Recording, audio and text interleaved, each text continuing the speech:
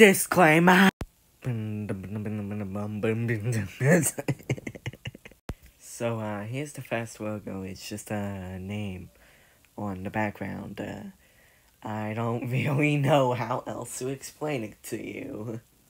It is literally just a name on a background. Same concept once again with the letters on the background, but this time we got initialization. So yeah, that's all I have to say. So in this logo we got initials again. This time there's only initials and uh you can you can't see it but I swear that there's an I here. There's an I in this logo, I swear. We got initials again. This time they're abstract and fun. So yeah. Well, well, well, slow it down with this craziness. We don't want people to think we have a good logo or something. Yeah, there we go. That seems more like it. Congrats, you found out how to have an actually good logo. Woo! Yeah! Whoa.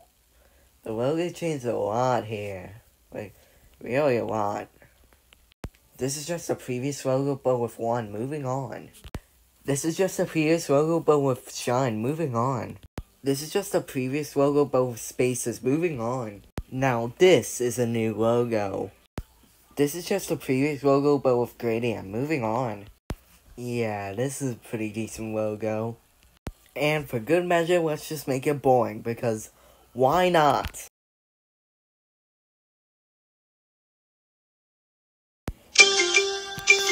Damn you, Austin Matthews. God damn you.